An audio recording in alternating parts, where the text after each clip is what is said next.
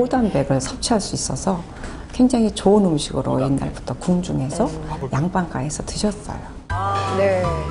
정조의 효성이 만들어낸 음식 삼합 미음.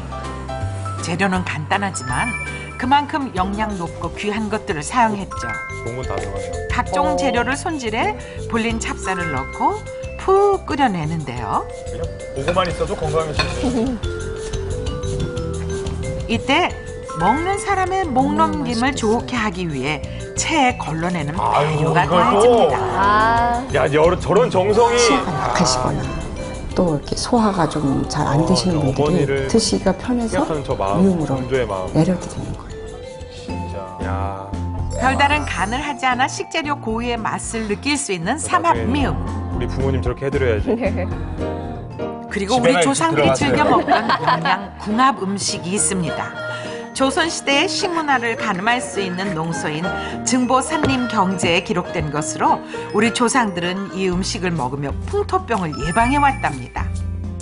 바로 순무와 쇠고기 생선살로 만든 만청즙.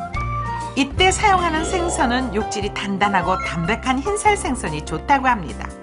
생선살과 쇠고기를 순무와 함께 조리해 비타민과 단백질을 동시에 보충했던 겁니다.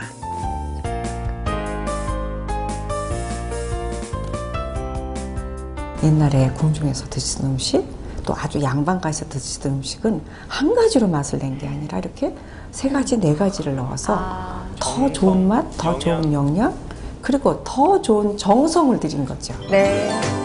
맛과